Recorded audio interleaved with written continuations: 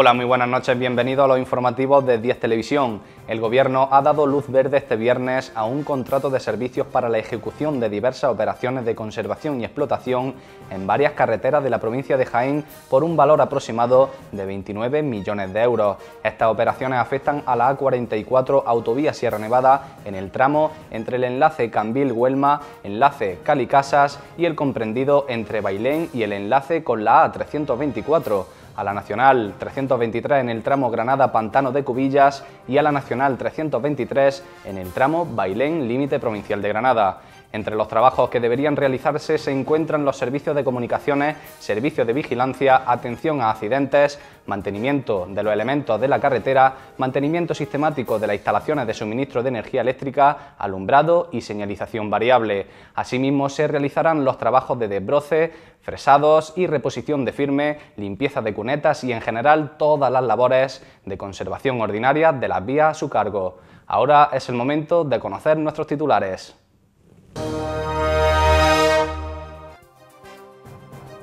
El diputado nacional del PP en Jaén, Gabino Puchet, realiza un análisis del gobierno socialista en el que asegura que Jaén ha sido una de las grandes perjudicadas. Pablo Milanés pondrá el broche de oro al concierto que se celebrará esta noche en Torre Perogil, enmarcado en el festival Un Mar de Canciones.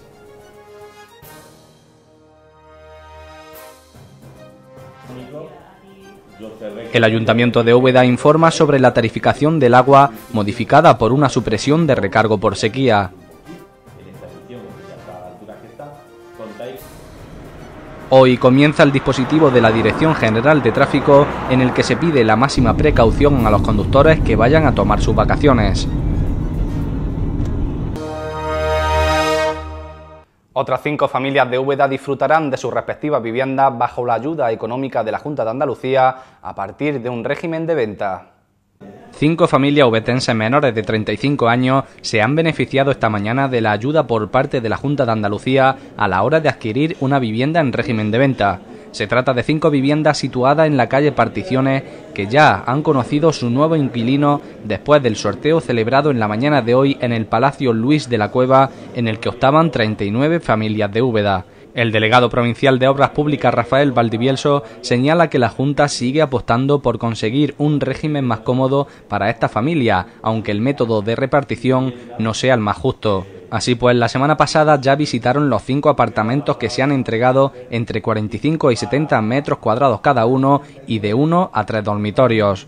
Desde la Junta indican así que siguen trabajando para paliar uno de los principales problemas que mantienen los jóvenes actualmente y que pasa por acceder a una vivienda, por lo que aparecen una serie de promociones en materia de vivienda que impulsan sus posibilidades programas de rehabilitación muy potentes, desde arreglo de tejado, instalación de y mejora de cuartos de baño, instalación de ascensores o política de vivienda protegida que cuando acabe todo lo que tenemos ahora mismo en cartera serán 160 viviendas de protección oficial las que vamos a poner a disposición de familias de Úbeda en el casco histórico. Por tanto, un nuevo paso, un paso que hoy la verdad es que yo siempre lo digo, los sorteos eh, bueno, es el, método más transparente que hay para adjudicar una vivienda, pero la verdad que es el método más injusto, ¿no? Depender de una bolita para eh, obtener una vivienda creo que no es la mejor opción. De esta forma, Valdivielso quiere informar a la ciudadanía de los problemas de rehabilitación que existen actualmente, que mantienen en sintonía a los ayuntamientos y a la Administración regional que existen unos registros en los ayuntamientos en donde la Junta de Andalucía lo ha apoyado económicamente eh, con una subvención y que eh, bueno pues quien tenga una demanda de vivienda se incorpora a estos registros y sabemos exactamente cuál es, cuál es el perfil de demandante, qué tipología de, vivienda mm, solicita y por tanto eh, ya hacemos las cosas como había que hacerlas. Hasta la fecha lo que hacíamos era ejecutar una vivienda y mm, bueno, por el ciudadano se adaptaba a esa vivienda. Ahora lo que estamos haciendo justo eh, lo contrario, estamos viendo cuáles son las demandas reales de los ciudadanos de cualquier municipio como el de Úbeda y posteriormente le damos respuesta a esas demandas. Todo ello, se pretende continuar otorgando respuesta a las demandas de los más jóvenes con la ley de acceso a la vivienda. La situación gubernamental es analizada esta mañana por el diputado nacional del Partido Popular en Jaén, Gabino Puche, que ha destacado la mala gestión llevada a cabo en la provincia de Jaén. Precisamente hoy que el Gobierno Nacional convocaba elecciones generales para el próximo 20 de noviembre, el diputado nacional del Partido Popular en Jaén, Gabino Puche, ha entrado a valorar la gestión socialista durante estos ocho años de mandato y su repercusión en Jaén.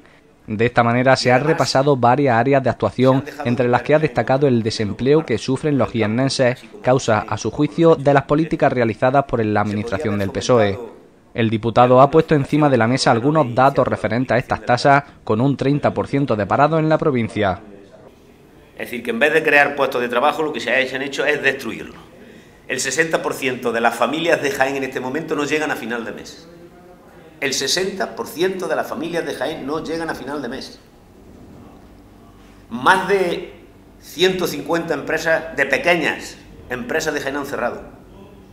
Más de mil autónomos han dado de baja en la provincia de Jaén.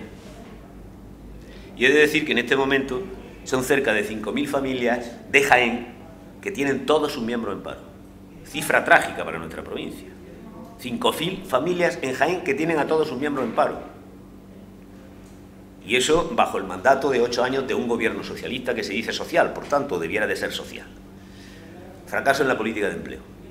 Fracaso en la política social, porque no hay mejor política social que la política de empleo. Y si fracasa la política de empleo, fracasa la política social. Finalmente indica que han sido ocho años perdidos para Jaén en diversas materias como infraestructura, modernidad, inversiones y para incrementar la renta per cápita de los jiennenses con las consecuencias negativas que ello supone. Un mar de canciones apuesta por una programación variada, aunque espera ansiosamente la actuación de Pablo Milanés en la noche de hoy. En la noche de ayer comenzaron a escucharse las primeras resonancias del Festival de Torre Perojil de canción de autor. El concierto de Cronopios compuesto por Quique Tobar y Miguel Dantart abrió el encuentro musical con un buen acompañamiento de fieles a esta ramificación sonora. No obstante, durante la tarde se sucedieron los actos relativos a un mar de canciones, como la inauguración de una calle con el nombre de este encuentro o la puesta en marcha de una serie de exposiciones que rememoran sus mejores momentos con la presencia de figuras como Ismael Serrano, Juan Perro o Los Secretos. Asimismo, un mar de canciones también hace un guiño a la solidaridad. No es solamente música, que es arte, literatura, es humor, es sobre todo solidaridad y compromiso hacia nuestro proyecto estrella junto con Quesada Solidaria, que es la Escuela de Música Un Mar de Canciones, que estamos llevando a cabo en Nicaragua, en San Rafael del Norte, que está al sur de Managua y que estamos intentando eh, sacar de la calle a esos niños, a esos jóvenes, un riesgo muy importante de exclusión social, de caer en pobreza, caer en el mundo de la delincuencia y a través de la música. Qué mejor que un festival como un mar de canciones para, llevar la música y para llevar esta sonrisa a, la cara de, de estos niños de Nicaragua. Dentro de la amplia gama de actividades programadas aparece una colección de monedas y billetes que cuenta con un valor único y con una gran dedicación a la hora de coleccionarlo, puesto que la fecha de la moneda más vetusta data de 1827. Eh, mucha gente que me ha hecho regalos de monedas, de billetes, otros lo he conseguido por mediación de gente intermediaria, de numismática sobre todo, que refleja eh, las monedas que han pasado por España desde el 1827 hasta el euro en prueba de Churriana. Ese es el primer cuadro que hice hace ya más de 30 años. Otra de las muestras consiste en una exposición de pintura y costura en la que se superpone la reducción de anatomía y piel de animales, donde se mantiene el color, la forma, el tamaño y el material a partir del cual se pretende conseguir un juego óptico entre la línea y la curva. Todo ello se expone en una serie de siete formatos realizados por María Dolores Gallego, estudiante de la Facultad de Bellas Artes de Granada. Haciendo también referencia entre el expresionismo abstracto y el pop art, que se decía que como los colores era lo importante, porque eso es siempre lo que me ha llamado la atención, los colores y las composiciones con ellos, pues como jugar con la pintura, como algo femenino, algo masculino, perdón, y, coser, que es como lo único personal que puedo tener en mis cuadros, porque los demás son composiciones puramente pictóricas, pero la, la costura es como algo personal durante toda mi familia, todas las mujeres siempre han trabajado con la costura, así que como algo biográfico referencial de mi familia. Una oferta variada y atractiva que nadie puede rechazar para celebrar el décimo cumpleaños de un evento cultural que cuenta cada vez con más peso en el mundo de la música de autor.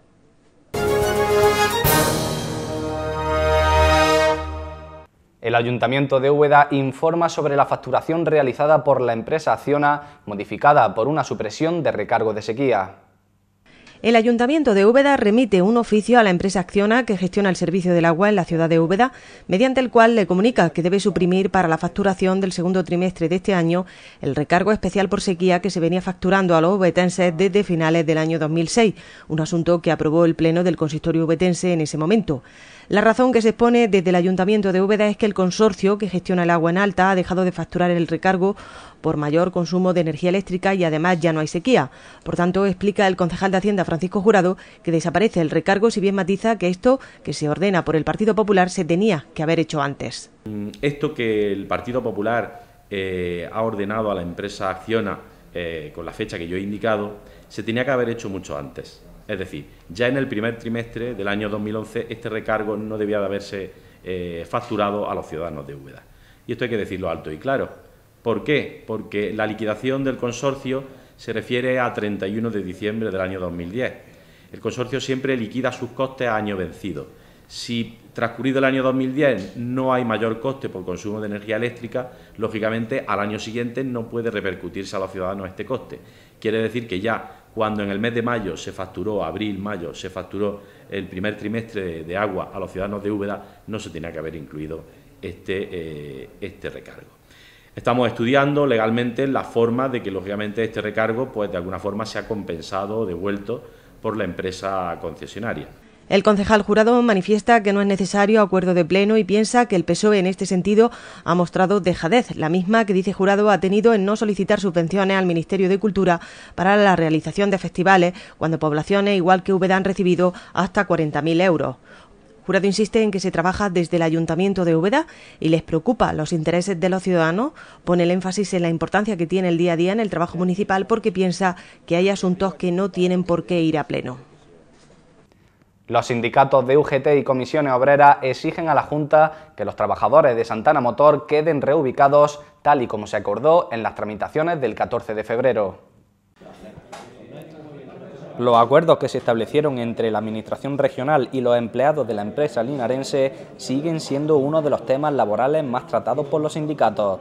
De esta manera, el secretario general de la Federación del Metal, Construcción y Afinas de UGT en Jaén, Gabriel Aleo, y el secretario general del Sindicato Provincial de Industria de Comisión Obrera en Jaén, Francisco Ballesteros, han exigido este viernes la recolocación inmediata de los trabajadores del Parque Empresarial de Santana, prioritariamente los del Grupo B, que engloba a los empleados que pertenecen al Plan de Acción Social y que tienen menos de 50 años, como acordaron ambos sindicatos el pasado 14 de febrero en el acta de los acuerdos del Plan Linares Futuro.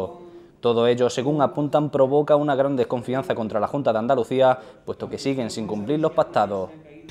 En su día se nos presentó un proyecto industrial donde contemplaba la implantación de cinco empresas que desgraciadamente, y ese es otro de los motivos por lo que, también queremos denunciar, hacemos esa denuncia pública y expresa de cara a que no se ha hecho absolutamente nada al día de hoy. Tan solo se han limitado a eh, presentar lo que son el nombre de la empresa, a eh, poner un logotipo de cada una de las empresas, pero no se ha movido absolutamente nada. Eso también está provocando pues bastante eh, desconfianza en lo que es eh, por parte de la, hacia la Junta de Andalucía, en el sentido que desde el 14 de febrero a hoy, 29 de julio, creemos que ha habido tiempo más que suficiente a la hora de haber dado otro serie, haber, haber agilizado lo que es el tema del plan industrial. Por su parte, Aleo ha mencionado que continuamente aparecen escollos que impiden el avance de la situación económica y empresarial, además de indicar que se han obviado los derechos de los tres colectivos afectados en Santana, A, B y C.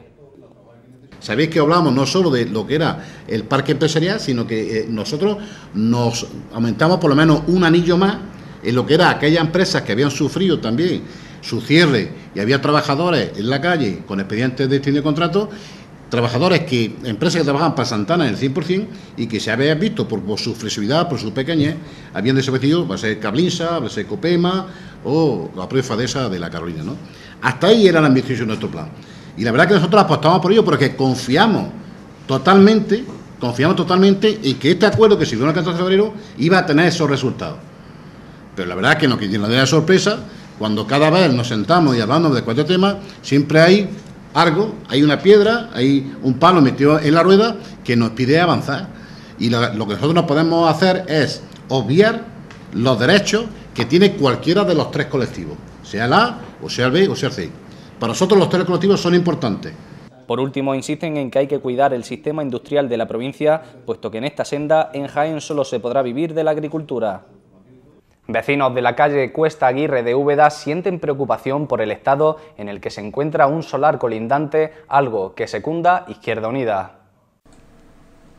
Guadalupe Quesada y Pedro Torralba son dos vecinos que viven en la Cuesta Aguirre de Úbeda y se enfrentan todos los días con el peligro que supone un solar que tienen enfrente de su casa, que es un nido de suciedad y foco de infección, además de peligro por los hoyos de gran profundidad que tiene, que llegan hasta tres metros. El solar no está vallado, pero sí lleno de suciedad y de hierba que atrae a ratones y otros insectos, lo que obliga a tomar medidas a estos ciudadanos que viven enfrente. Vecinos que se quejan de que no se toman medidas tampoco desde hace cinco años que está el solar abandonado y ven en él un peligro permanente, especialmente para los niños que pueden caerse en las zanjas. A todo esto se suma que los vecinos de la zona han tomado por costumbre ahora no utilizar los contenedores y echan en este solar la basura. Y para más INRI, Guadalupe Quesada teme que a alguien se le ocurra echar una colilla y salgan ardiendo las casas. Además hay aquí seis hoyos que hicieron para prueba o para cata o para lo que fuera y resulta que esto aquí ni la han vallado ni han hecho nada.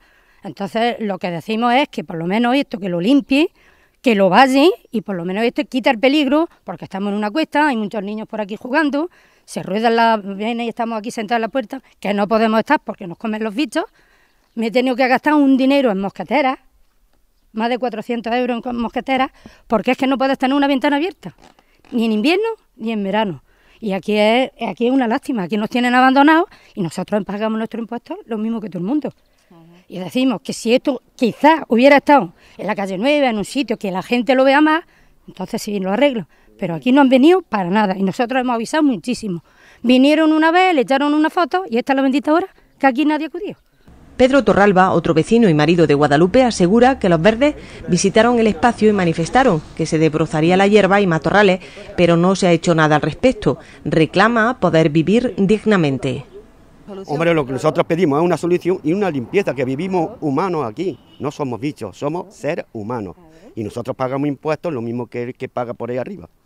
Quiere decir que nosotros queremos una limpieza. Nosotros no queremos nosotros no queremos aquí una cosa que nos pongan aquí, no, no, queremos una limpieza para que los vecinos podamos vivir tranquilos y nos evitemos de bichos y de, y de todo. Izquierda Unida se hace eco de la situación y califica de vergüenza que un solar en tales circunstancias lleve así cinco años y que se permita. Por otra parte, también ven peligro en que pueda salir ardiendo no solo con una colilla, sino con un cristal las casas. Por tal motivo, solicitan al alcalde José Robles que visite la zona y reclamen al dueño del solar que lo limpie o que lo valle el ayuntamiento con recargo al dueño. El concejal de IU, Luis Fernández, manifiesta que tampoco ellos irán de vacaciones y que estarán en la calle ayudando a los vecinos y solucionando problemas de la ciudad. Al equipo de gobierno y a, Pepe Robles, el señor alcalde de Úbeda, pues le pedimos que, pase por aquí, que vea esto y que, bueno, que, llame al vecino, que llame al propietario y le dé unos días para limpiar esto, ¿no? Y si vemos que en unos días no, no se ha limpiado y no se ha vallado esto, pues que sea el ayuntamiento el que lo haga y después que le pase la factura correspondiente a, al dueño de este solar, que yo no sé quién es, ¿no? pero bueno, da igual, ¿no? hay que cumplir con las obligaciones y hay que tener esto vallado y limpio, ¿no? Y por lo tanto ese va, ese va a ser nuestro trabajo en, los barrios y en todo Úbeda, ¿no?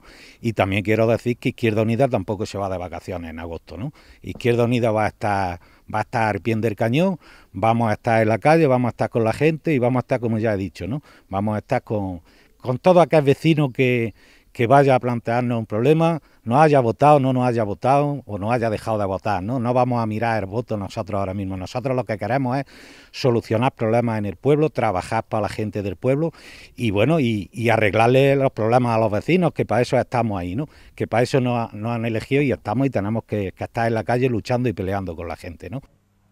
Surgen reacciones desde diversos estamentos políticos referentes a la gestión del ayuntamiento respecto a la celebración del Festival Internacional de Música de Cine Ciudad de Úbeda. Por otra parte, Izquierda Unida no quiere oír hablar de que el Festival Internacional de Música de Cine podría irse de Úbeda y no celebrarse como hasta ahora durante siete años en la ciudad patrimonial. Y es que, como saben, está en el aire que la octava edición se desarrolle en Úbeda. Por tal motivo piden que el alcalde se reúna con la organización del festival porque entienden que no pueden irse de la ciudad y menos en julio, un mes en el que el turismo desciende. El concejal Luis Fernández eh, manifiesta que el sector hostelero de la ciudad muestra su desacuerdo con que se vaya al Festival de Úbeda por la repercusión positiva que ha tenido el mismo en la ciudad y por tal motivo solicitan que se sienten las partes, Ayuntamiento de Úbeda y organización y se aclaren las diferencias. Creemos que es un evento que no se puede ir del pueblo, no se puede ir de Úbeda y más en el mes de julio, ¿no? Porque porque bueno, sabemos que el turismo aquí es de primavera y de otoño y ahora pues hemos visto que los hoteles y bueno, los restaurantes y tal pues se buscan la vida y bueno, son ingresos que entran a la ciudad y hay que hacer todo lo posible porque ese festival no se vaya de Úbeda.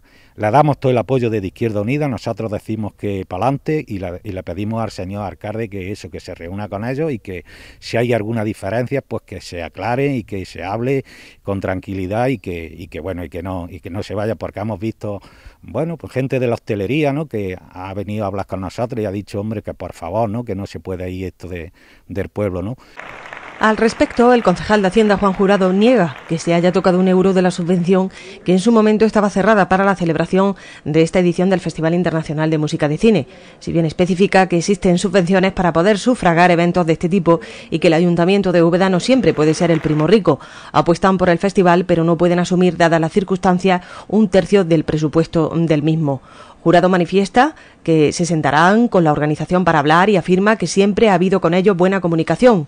Concluye diciendo que el equipo de gobierno quiere que el Festival Internacional de Música de Cine se quede en la ciudad patrimonial, pero también cree que hay que optimizar recursos.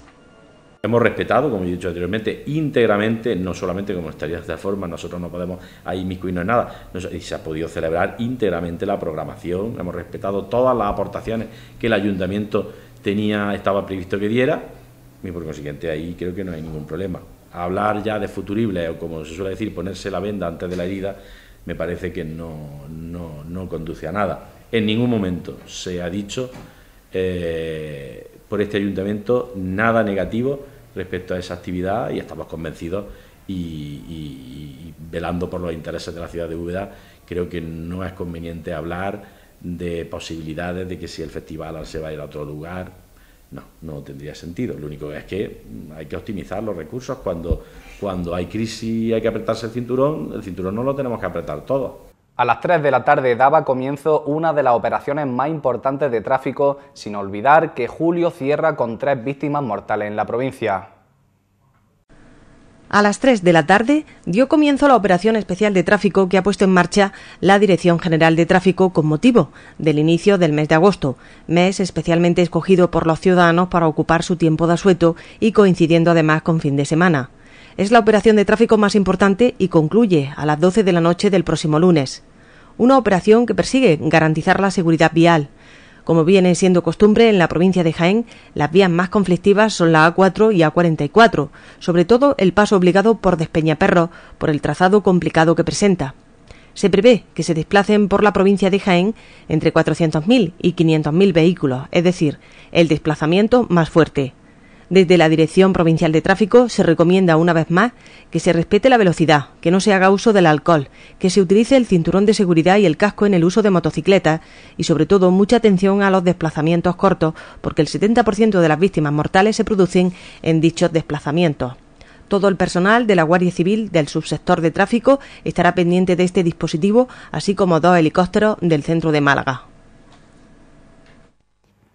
El Ayuntamiento de Baeza analiza la situación de los más jóvenes durante la época estival a partir de las actividades lúdicas y deportivas propuestas en la localidad. Este jueves se ha fallado el concurso de maquetas musicales para el Festival de Música Sonosop, que servirá el 6 de agosto como pórtico de la Feria Baezana. Super Submarina, Autómatas, Halber y la banda ganadora, Alto Consumo, abrirán el festival. La concejala Juana Ruiz Ortega, que informaba, espera que el festival se vaya consolidando con el paso de los años y decía estar satisfecha con el panorama musical joven baezano que va evolucionando progresivamente. Los ganadores de este, de este primer concurso además del potencial como grupo que pueda tener y la para, poder avanzar en, su carrera y así como que sea la primera ocasión, que va a ser en esta ocasión, la que, puedan, que puedan actuar en público en esta comarca, ¿no? darles esa primera oportunidad. Eh, van a ser ellos los que inicien este, este festival junto al grupo Halber y como cabeza de cartel pues serán Super Submarina y Autómata. Super Submarina que se encuentra en mitad de, de su gira electroviral, que están dando conciertos por toda España. Y bueno, Autómatas que también que ha llevado a esta banda con su último disco desde desde el espacio exterior y que también están dando muchos conciertos por, por todas partes. Por otra parte, el concejal de Deportes de Baeza informaba de las actividades deportivas previstas para la eh, feria de Baeza en agosto. Se pondrán en funcionamiento un torneo de baloncesto, otro de quacks, de tenis, de ajedrez, de fútbol y mención especial para la maratón de fútbol sala, en la que cuentan con 60 inscripciones. Además, para el concurso hípico del que se celebran 47 años de su nacimiento y en el que ya hay 57 inscripciones. Todo esto se espera con muy buenas expectativas. El Open de Padre, que también dará comienzo en los próximos días, el torneo de tenis de mesa y el torneo de tenis Ciudad de Baeza, el torneo de voleibol que dará, mm, comienzo el domingo por la mañana en las instalaciones del campo de fútbol y mm, una mención especial merece lógicamente la maratón de fútbol sala que se realizará los días 5, 6 y 7 en las instalaciones del pabellón San Andrés y, como no, el mm, concurso hípico que este año se realizan también los días 5, 6 y 7. Eh, resaltar en la maratón de fútbol sala que contamos también con cerca de 60 inscripciones, que es el máximo que permite la competición que nosotros, la liguilla, la forma de competición que nosotros establecemos. Y en cuanto al, al concurso hípico, pues lógicamente agradecer a todos los patrocinadores el apoyo que año tras año vienen dando a, a este tipo de concurso. Este año es la 47 edición, contamos con 56 inscripciones aproximadamente, más o menos las mismas que años anteriores. Y el horario será para el horario de mañana de 12 a 1 y el horario de tarde de 5, a las 5 y media el viernes, que es el primer día, y a las 5 el sábado y el domingo, que las competiciones son un pelín, un pelín más largas. Hablamos de suerte, un premio de 1.270.000 euros cae en Úbeda gracias al sorteo de la Lotería Nacional. La Lotería Nacional se acordaba ayer de Úbeda. El primer premio del sorteo de anoche recayó en el número 35.102, vendido íntegramente en la Administración de Lotería número 3 de Úbeda, situada en la calle Zurbarán. En dicha administración se vendió el premio especial al décimo de 1,2 millones de euros para la fracción 1 y la serie 4 del número premiado que también ha caído en Úbeda. Pues se han repartido en total 3.700.000 euros entre todos los agraciados. Esperemos que sí, que sigamos repartiendo muchos premios y que demos mucha suerte durante muchas semanas.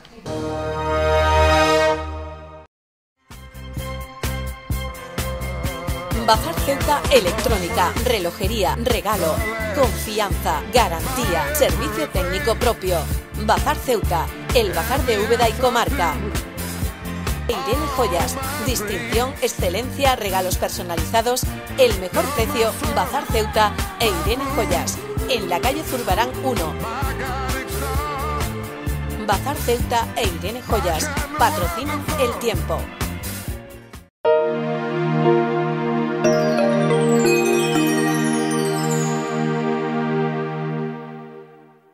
En el día de hoy, viernes, hemos tenido cielos poco nubosos o despejados, con nubosidad de evolución diurna por la tarde en las sierras.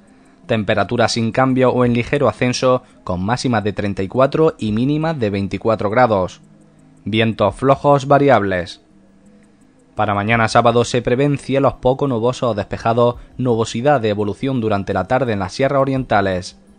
Temperaturas sin cambios que oscilarán entre los 22 y los 34 grados.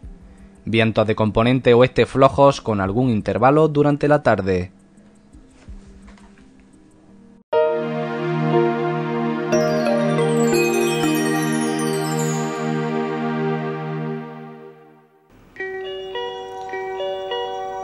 La confianza de una marca líder solo puede estar en un concesionario líder.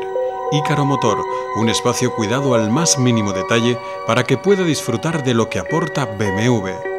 Vehículos nuevos, de ocasión, taller mecánico, de motos, de chapa y pintura, con personal cualificado y los elementos técnicos más avanzados. Y además somos servicio oficial de reparación y venta de Mini. Ícaro Motor su concesionario BMW en Jaén y Úbeda.